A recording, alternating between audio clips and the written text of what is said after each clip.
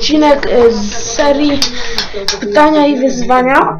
Ostatnio na Facebooku jeden kolega napisał mi, żebym wziął musztardę i łyżeczkę i łyżeczkę i zjeść łyżeczkę ostrej, bardzo ostrej musztardy.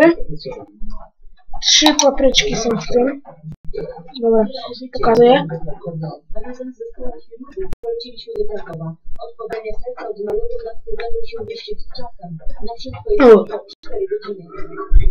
Po godzinnym locie i przekonaniu korku, gdy sercem dotarliśmy do warszawskiego... On tu jeszcze napisał, że wszystko naraz to może być. Trzy, cztery. Nowe serce początkowo nie chciało ruszyć.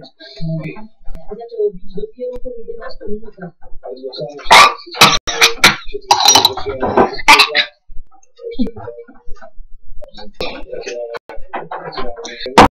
Dobra. Piszcie filmy, pytania i wyzwania.